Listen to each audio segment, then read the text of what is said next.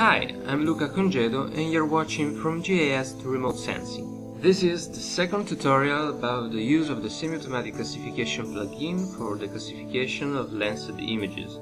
In particular, we are going to use the tools of the plugin for downloading and processing the images and we are going to create a land cover classification uh, identifying the following land cover classes uh, water, built-up, vegetation and bare soil. Okay, so the first step of this tutorial is to download the Landsat images. Uh, the semi-automatic classification plugin has a tool for downloading Landsat images. In particular, you can reach this tool by clicking here, the Tools button. And also I want to show you that you can reach the functions of the plugin from here. As you can see, there are a menu for all the functions of the plugin you can download Landsat from here. But mm, before downloading the database it is useful to select a database directory because uh, uh, otherwise the database is downloaded inside the uh, plugin directory. So if you update the plugin the database will be uh, deleted. So um, we select database directory and we save it in the user directory for example. So we say db and we click OK. So now that we have set the database directory we can update the database. We check uh, to update only Landsat because we uh, are downloading a Landsat image but of course, uh, you can download also the Landsat 4, 5 and 7 databases and of course this will require more time. And so now we click Update Database. We click Yes to this question and of course we uh, need an internet connection. And as you can see, the tool is downloading the database, the Landsat 8 database. Okay, so after a few seconds, depending on your uh, internet connection speed, we have downloaded the Landsat database. Now we need to search for uh, our image. Uh, the tool allows for uh, searching uh, for date, for cloud cover, for uh, image ID, and of course we can also search the geographically using the coordinates.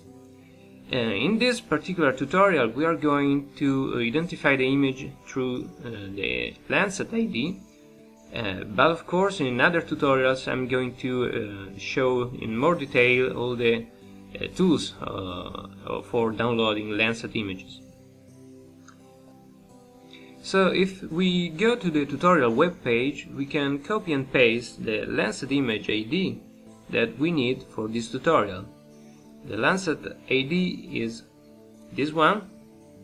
We can copy and paste it in the semi-automatic classification plugin. Here in image ID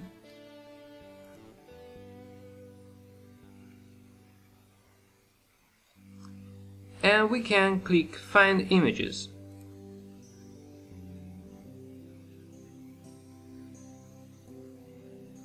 After a few seconds the tool has found the image that we can also display in QGIS. Clicking here, display image preview. Here in QGIS, as you can see we have a preview of the Landsat image. Of course, this is a very low resolution preview, but uh, you can see, for, for instance, if there are clouds in your area of interest so it is very useful. So if this is the image that we want we can uh, start the download. But first we uh, we need to select uh, the bands that we need. In particular we uh, need just band uh, from 2 to 7 so we uncheck all the other Landsat bands. So uh, Now we can uh, download the image, but first we should uncheck these options.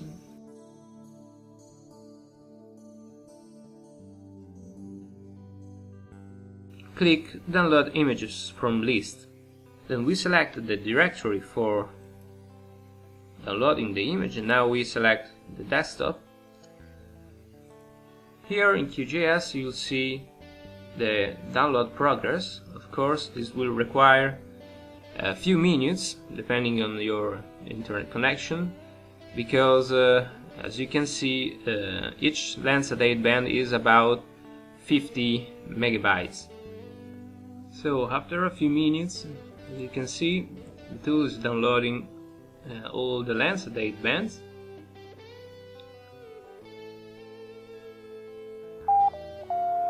and when the download is finished as you can hear uh, sound will uh, inform you that uh, the, all the bands are downloaded. And if we open the directory uh, as you can see a new directory is uh, created with the same name of the Landsat ID and inside this uh, directory you can see that there are all the Landsat bands and the metadata file that is it is useful for uh, processing the Landsat image in particular for the conversion from digital number to reflectance. But we are not loading these Landsat bands in QGIS because we uh, need to perform the conversion to reflectance uh, first. So um, in QGIS we can remove this is the preview that we have loaded before. We can remove this. Then we need the preprocessing tool of the plugin. Here in the Landsat preprocessing tool we can select the directory where the Landsat bands were downloaded. So this one which is the same name of the Landsat ID as you can see, uh, automatically the plugin has loaded uh, all the parameters from the metadata file uh, and we don't need to uh, edit these uh, uh, items. And in particular we need to check this checkbox apply DOS1 atmospheric correction which is a, a particular atmospheric correction which is image based and now we also uh, uncheck this checkbox create band set because I want to show you uh, how to create a band set uh, manually. But of course if you leave this checkbox uh, you will uh, automatically have a band set created here. But we are going to uh, come back to this later. So checking apply DOS1 atmospheric corrections click the button Perform Conversion. Then we select where to save the bands converted to reflectance. Here we can create a directory here, for instance, and click OK. So the process uh, of conversion will start and of course it can last a few minutes because we are converting the whole Landsat band uh, one by one and also applying this uh, atmospheric correction.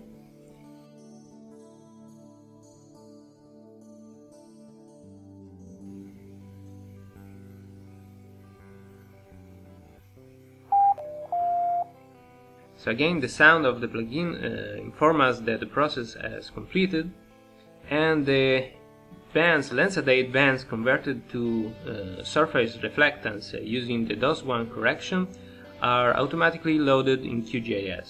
So in this tutorial we are going to classify only a small subset of the Landsat image. So uh, the next step is to clip the Landsat bands.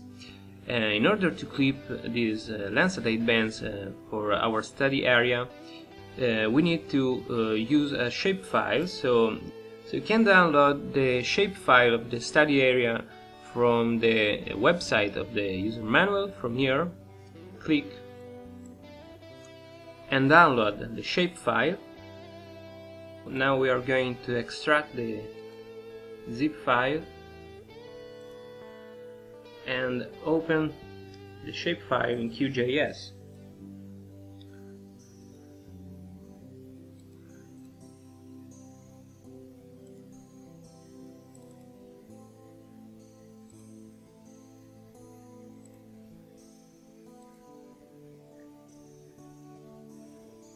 So now we need to uh, open the tools, uh, the clip tool of the plugin.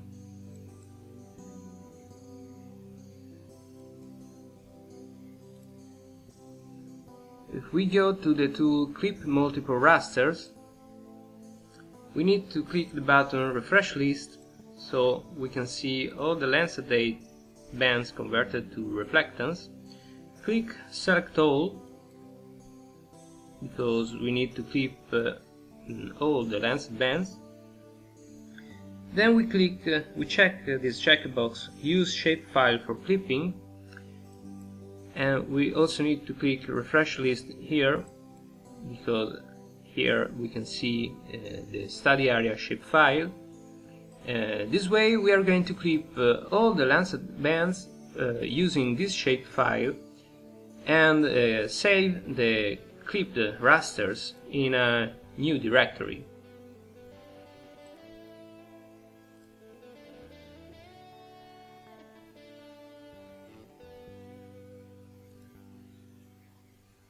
and we click OK.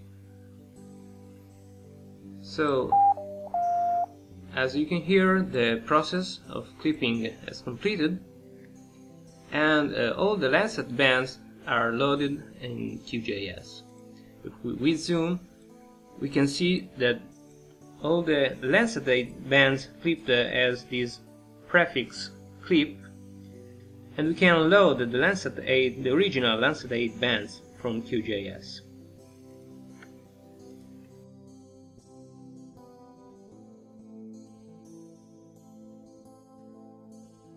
So now we have the Landsat bands clipped uh, for our study area and the next step is to create the band set so that the plugin can uh, use these bands as input for the classification. In the previous tutorial we have used a single multispectral raster while in this tutorial we have uh, separate bands. So in order to create the band set we click here the band set tool and we need to add all these bands to the band set definition. So we click select all and click add the raster to set. As you can see all the bands are loaded in the band set definition. Uh, we need to define the center wavelength here and of course uh, if uh, the order of the bands is, uh, uh, is wrong we, we could uh, just arrange the order using these arrows.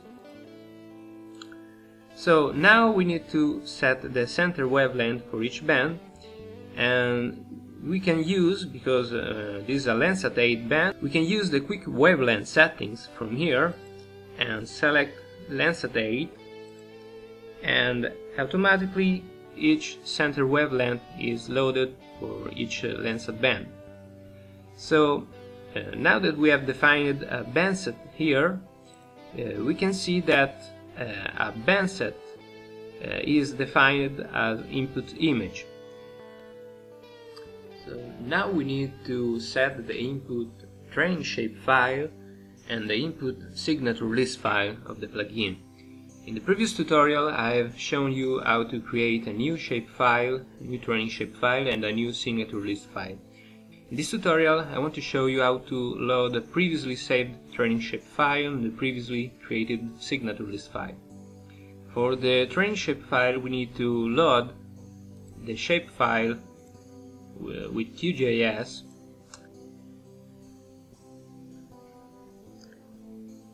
So now that we have loaded the training shape file here in QGIS we can we must click this button refresh list here and select of course we have just this train shape file loaded QGIS and as you can see automatically all the regions of interest that are inside this train-shape file if we open the attribute table here we can see that the same regions of interest are loaded in the ROI list here.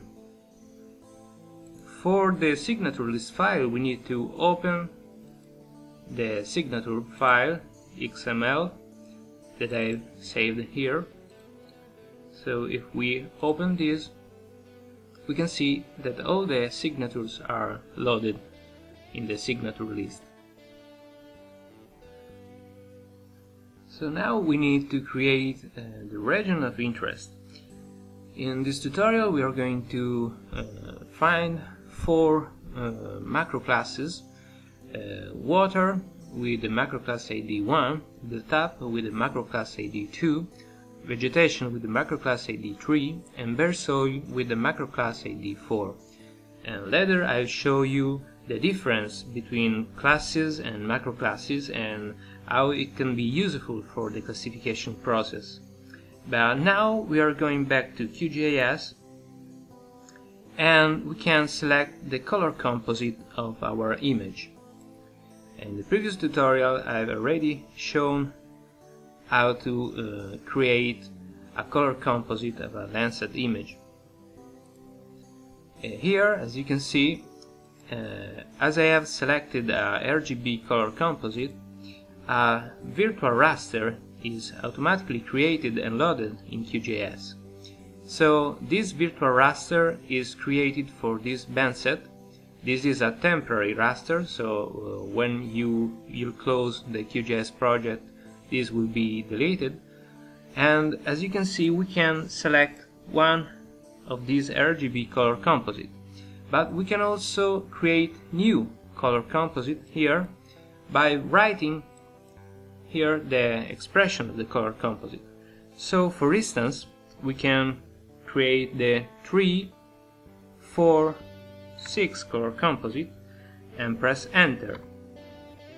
And here this new color composite is added to the RGB list and we can quickly switch between the color composite with the mouse wheel over this list.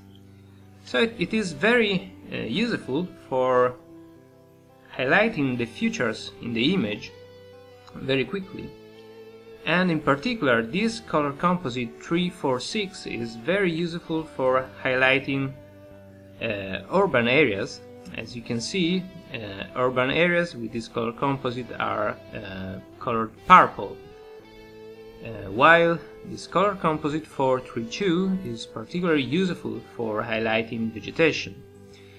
So switching this color composite uh, allows for a better discrimination of materials at the ground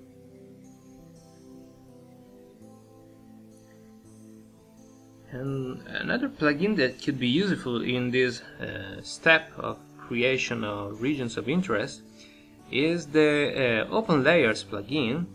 If you install this useful plugin, you can mm, you could uh, add to the QGIS project one uh, or more of these uh, layers, high resolution layers.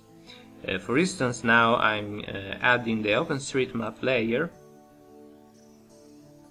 so it can be useful for identifying features in the high resolution map that we can uh, we cannot identify clearly in the Landsat image. So it is important to identify every uh, material at the ground. So for instance uh, large buildings as you can see in this image or roads as you can see in this other image.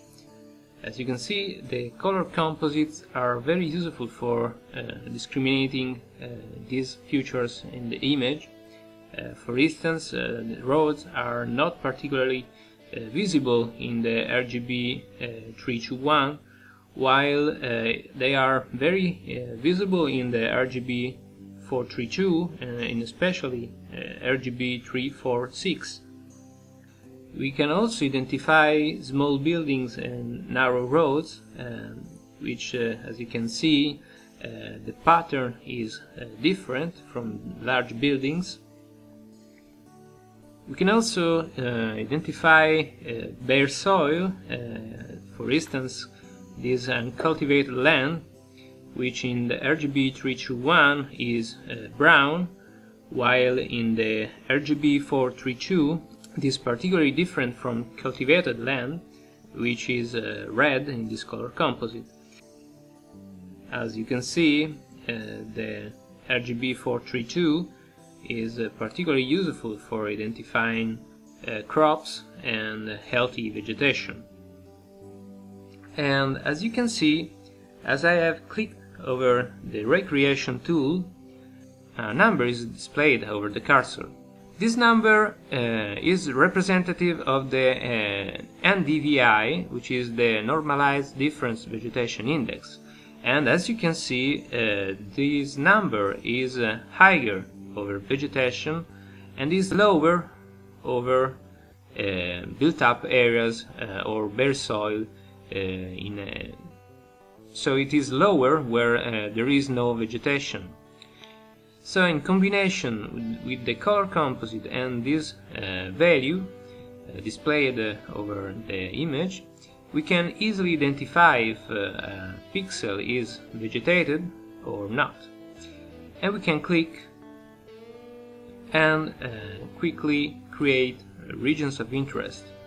So for instance, if we see that NDVI is very low, probably this is a built-up area so, for instance, if we click here and we create a region of interest here and we increase the range radius value a little, we can click the redo button and the new region of interest is created uh, with this new parameter.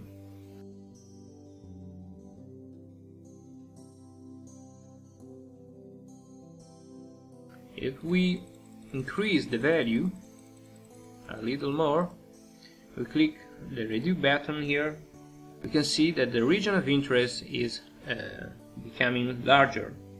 So uh, let's say that we are uh, satisfied with this uh, region of interest. So we select here our macro class ID this is uh, grassland main mainly. So the macro class is vegetation and as class ID we need to set a class ID that is uh, different from the previously saved region, regions of interest. So we need to set here 5 and we can write here for instance grassland. Now we can save the region of interest as you can see, a new region is loaded in the array list and a new spectral signature is uh, calculated here in the signature list. We can see for instance the spectral signature of this region uh, of interest by clicking this button here. As you can see there is a very high value here which is in the near infrared because it is uh, vegetation. We can also compare this spectral signature with another uh, spectral signature already loaded in the signature list, for instance this other one of vegetation. And we can see, if we click here fit plot to data, that there is a difference in the values because this previously saved spectral signature uh, was uh, calculated without the definition of the central wavelength of the Landsat band. So what we need to do is to remove these four uh, spectral signatures already loaded uh, because the values are not compatible with the uh, new spectral signatures. For instance, if we uh, see the signature details, we can see that the values of the new spectral signature are decimal values here all uh, lower than 1 while the values of the previously saved spectral signatures are in the order of thousands so we need to remove with this button the spectral signatures here. Of course, we can calculate the spectral signatures that we have removed uh, again uh, using this button add to signature. So if we click here, the process starts uh, calculating the spectral signatures. Of course, we need to set uh, the colors of the uh, classes again. But now, if we compare the vegetation and these other vegetation spectral signatures, we can see now that the values are compatible. We can remove the two spectral signatures from here and now we can see that the spectral signatures are very similar. So now we can change the color here. We can assign new colors to the vegetation, to the water, and so on.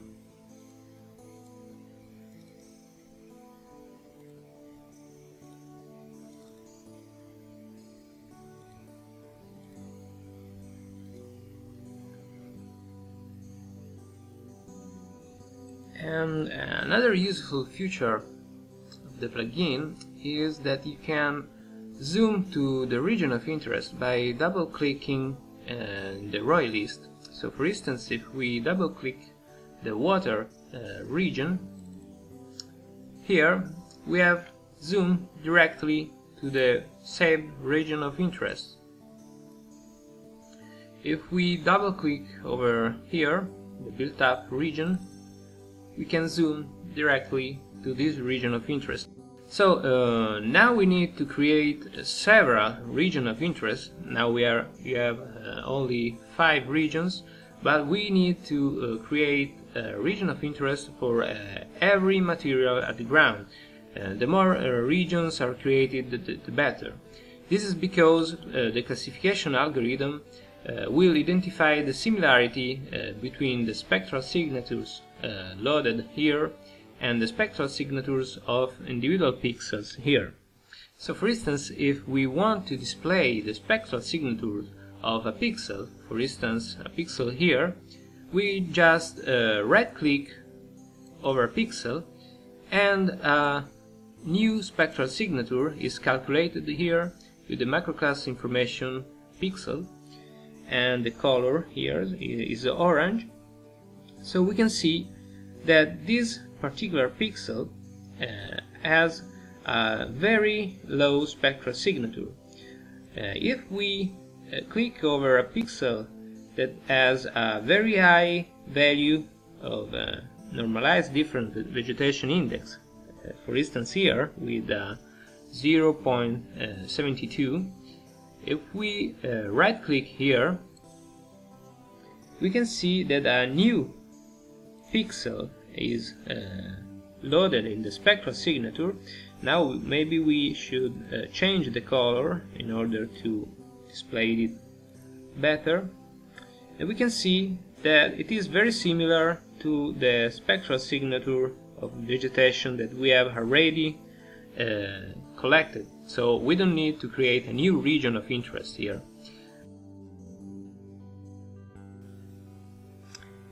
So uh, we need to create more region of interest, uh, for instance for the built-up areas. Uh, so we can zoom over this area and we can see that this line is uh, a large rod.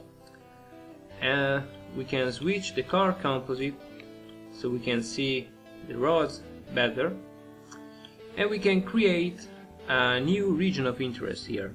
So click the recreation tool and click when we see a very low NDVI value we are probably uh, over this built up area. So we click here and as you can see a new region of interest uh, which is uh, following the, the road is created and now we can add the region of interest to the ROI list. So the macro class for built up is 2.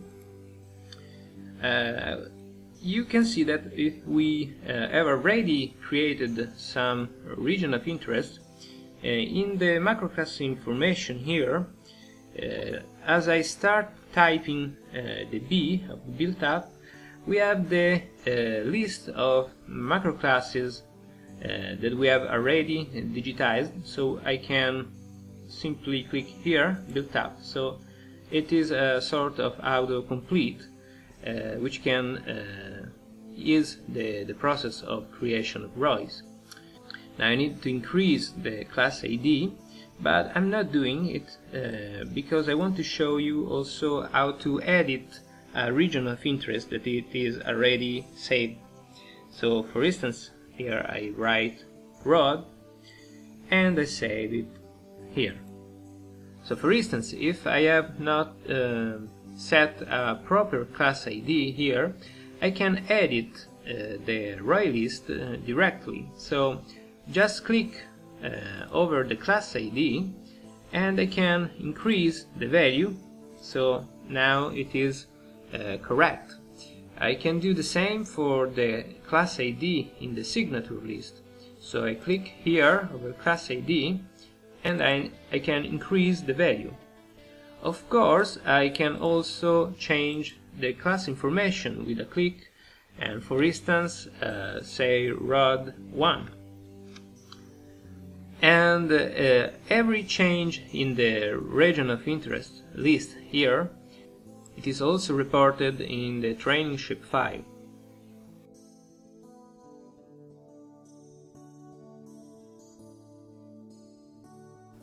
So now that we have created several regions of interest, uh, we can uh, create a classification preview uh, which is um, a way to assess uh, the quality of our spectral signatures in particular if uh, we have identified uh, all the materials at the ground. So here we can set the classification preview size. We can say 500, this is the unit in pixels. And we can click here, activate preview pointer. With a left click over the image, we can see the classification preview using this algorithm.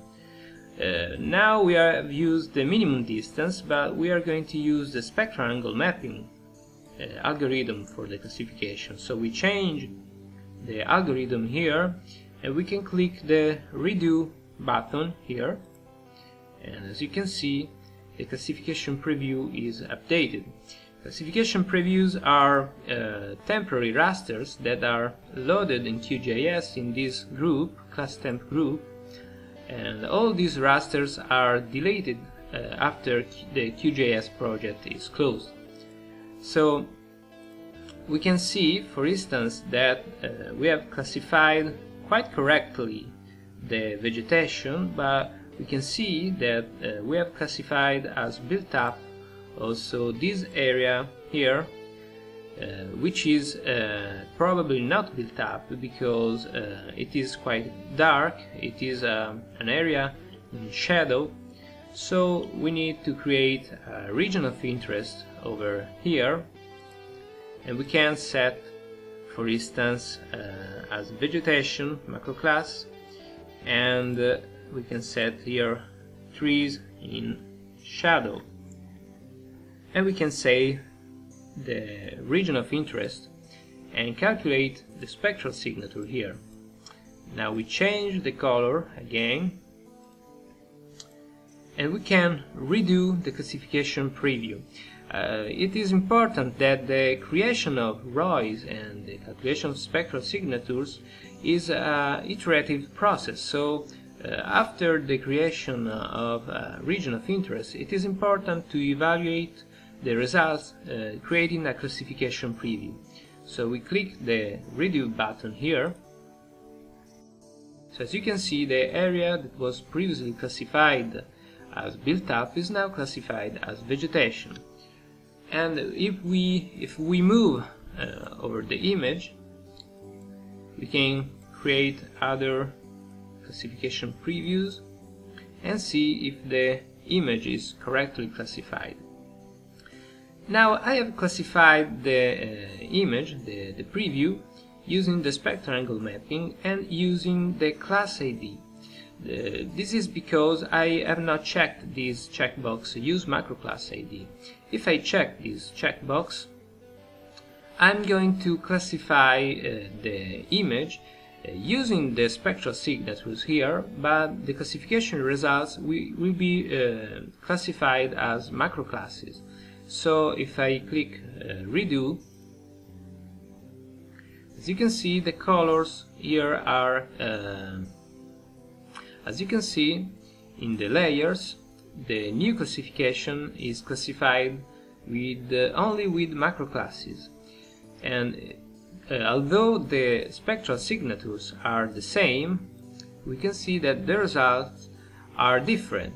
If we switch between the classification preview using macro classes and classification preview using classes, we can see that for instance, the built-up area is classified as built-up here, while in this classification we have a difference between uh, buildings and roads. So here you can see that uh, several pixels are classified as water because I have uh, erroneously uh, set a macro class ID uh, 1 which is the macro class for water. So uh, now what I need to do is to edit here the macro class ID and set the vegetation macro class ID which is 3 and the same for the spectral signatures.